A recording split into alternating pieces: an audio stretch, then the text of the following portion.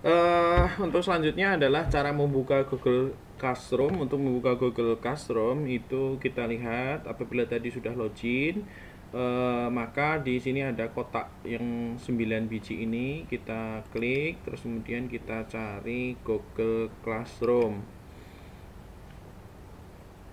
Ya, kita tunggu sebentar.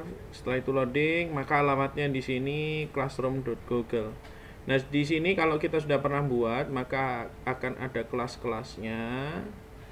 Nah, tapi bel- jika belum, maka berarti di sini akan berwarna abu-abu. Demikian tutorial cara membuka Google Classroom.